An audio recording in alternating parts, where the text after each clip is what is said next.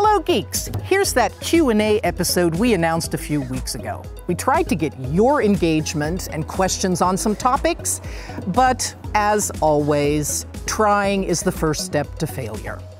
A few questions on YouTube were somewhat okay, and if I can pronounce them correctly, I'll answer them for you now. Here we go.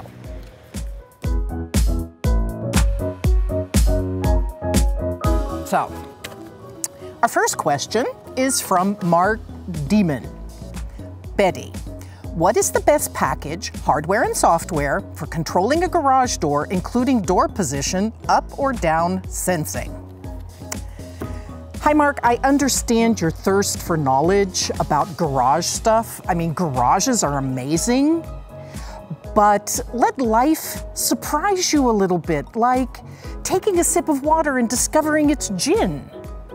But I have talked to the head of our geek department, and he said it doesn't matter what hardware you use, as long as you use PRTG to monitor and control your garage.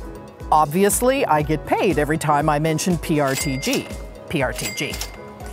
So if you wish, we, that's PRTG, will be making a Maker Monday episode on how to build a smart garage using PRTG.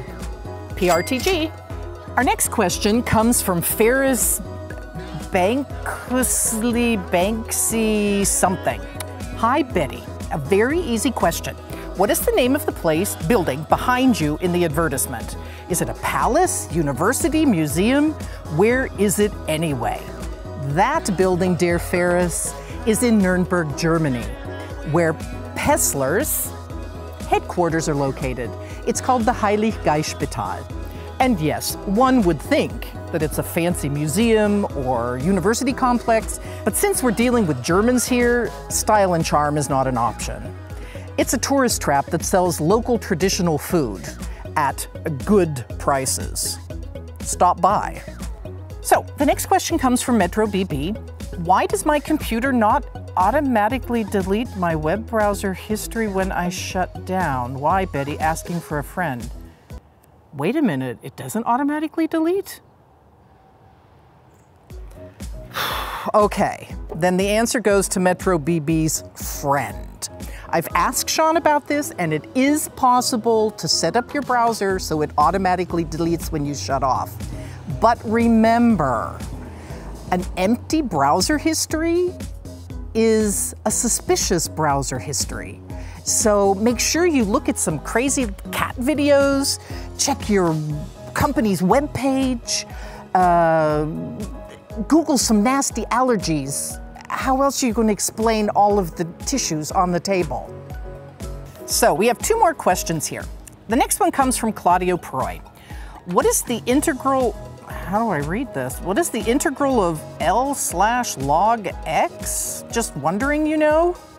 Aye, Claudio, nice try but anyone can look that up on the internet in two seconds. You know the internet, that thing where men are men and women are men, and the simplest answers to life's questions are given to us by Russian hackers.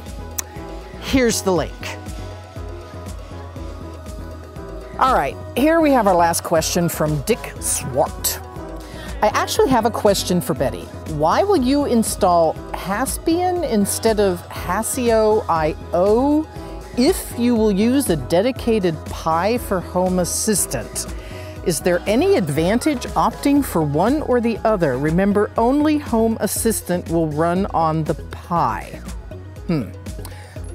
It's not like I'm too lazy to think up a proper answer and we'll go home now, but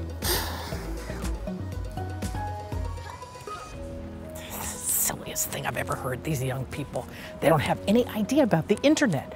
Pi, what is he talking about? Garages. Also, this is, this is absolutely the most ridiculous thing I've ever seen. They don't know anything. You'd think that the young people would know more than me. I'm three times their age.